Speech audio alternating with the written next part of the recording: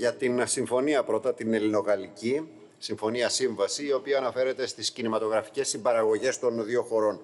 Έρχεται βεβαίως αυτή να επικαιροποιήσει και να εξυγχρονίσει μια αρκετά παλιότερη αντίστοιχη κινηματογραφική συμφωνία ελληνογαλλική που υπογράφτηκε πριν από 50 ε, ακριβώς χρόνια, τον Οκτώβριο του 1973, από τη Χούντα και κυρώθηκε τον πρώτο καιρό της μεταπολίτευσης με το κανονιστικό διάταγμα 141 του 1974 από την κυβέρνηση Καραμαλή.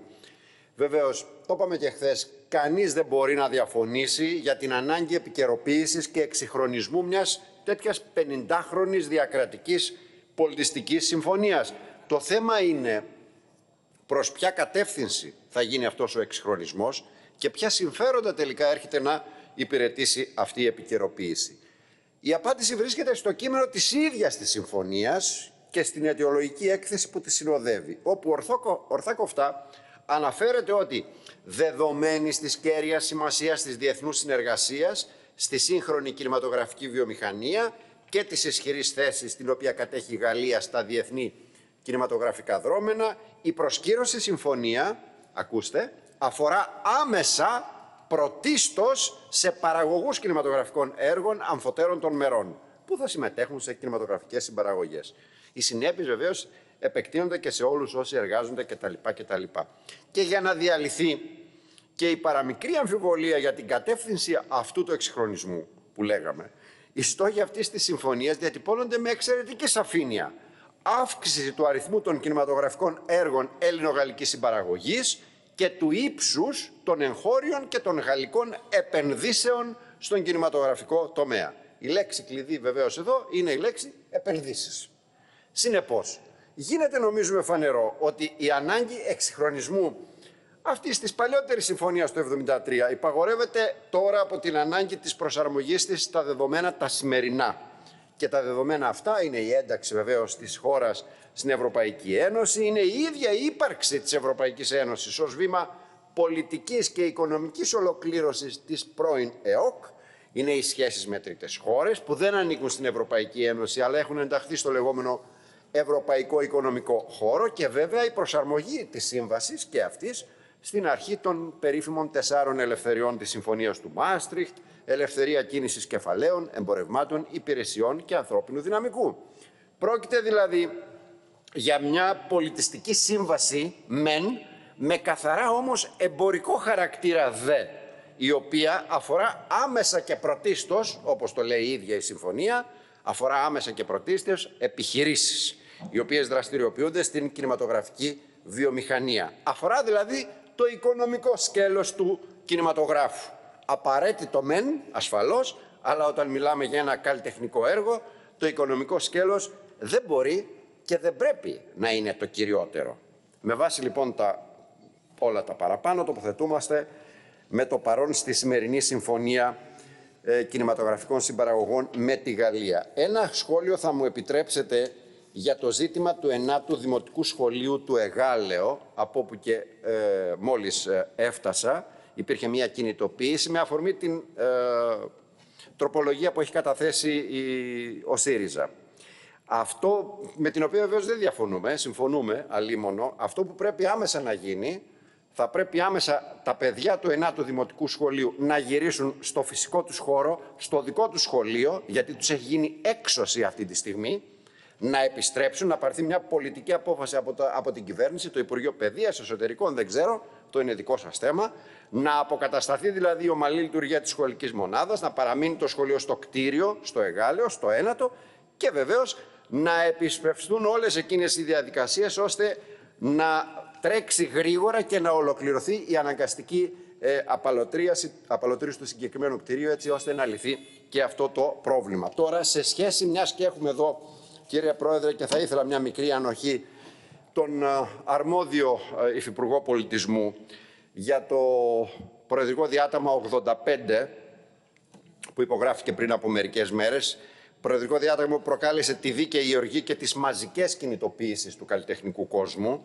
νομίζουμε ότι αυτό ήρθε να αποκαλύψει, ήρθε αυτό το προεδρικό διάταγμα να αποκαλύψει με ακόμα μεγαλύτερη σφοδρότητα ένα χρόνιο πρόβλημα της καλλιτεχνικής εκπαίδευσης. Ότι δηλαδή οι χιλιάδες καλλιτέχνες και σπουδαστές μετά από χρόνια ακριβών σπουδών, οι περισσότερες σε ιδιωτικές σχολές αποκτούν πτυχία χωρίς αντίκρισμα και βεβαίως χωρίς ε, εργασιακά δικαιώματα. Καθώς είναι γνωστό πέρα, ότι πέρα από τις σχολές των καλών τεχνών που είναι ανώτατες εδώ και δεκαετίες, η καλλιτεχνική εκπαίδευση στη μουσική, το θέατρο, το κινηματογράφο, το χώρο έχει αποβληθεί. Δεν υπάρχει στην ανώτατη βαθμίδα, με εξαίρεση διάφορα ελάχιστα διάσπαρτα τμήματα. Τώρα, μετά το, από αυτό το αντικαλλιτεχνικό χτύπημα του Προεδρικού Διατάγματος 85, η κυβέρνηση, στην uh, ρότα των ευρωπαϊκών κατευθύνσεων πάντα, προσανατολίζεται, αυτό, αυτό λέει, αυτό καταλαβαίνουμε, προσανατολίζεται στη συνέχεια να εντάξει το πλήθος όλων αυτών των καλλιτεχνικών σχολών στο επίπεδο των ΙΕΚ, στο επίπεδο 5 δηλαδή προσόντων της Ευρωπαϊκής Ένωσης, μέσω της λεγόμενης διαβάθμισης. Μόνο που αυτή η διαβάθμιση στην πραγματικότητα ισοδυναμεί με υποβάθμιση. Και μάλιστα για να κατευνάσει τα πνεύματα η κυβέρνηση, υπόσχεται και την ίδρυση κάποιων ορισμένων μεμονωμένων τμήματων ανώτατου επίπεδου.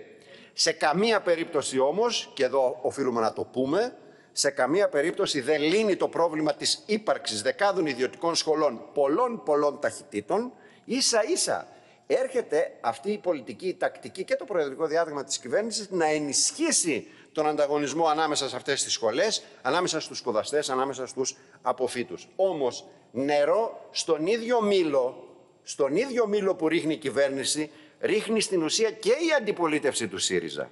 Με το δικό της τρόπο. Άλλωστε, και ως κυβέρνηση άφησε ξεκρέμαστους, κυριολεκτικά, χωρίς καμία αναγνώριση, τους απόφοιτους των δραματικών σχολών από το 2003 και μετά.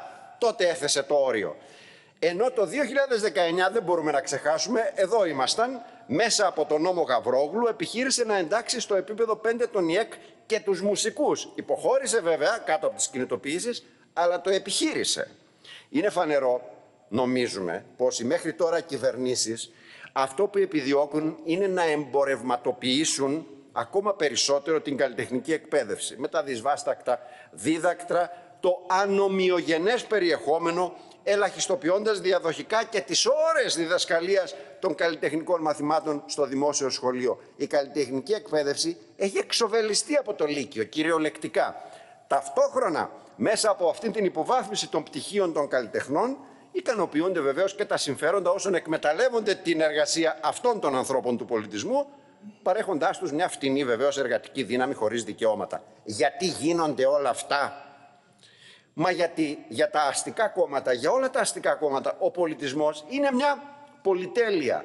Κάποιες φορές μάλιστα περιττή πολυτέλεια για τον εργαζόμενο, για το λαό, για τα λαϊκά στρώματα και όχι ένας θεμελιακός παράγοντας όπως είναι για μας και όπως πρέπει να είναι για να συγκροτήσει κάποιος και να αναπτύξει την προσωπικότητά του.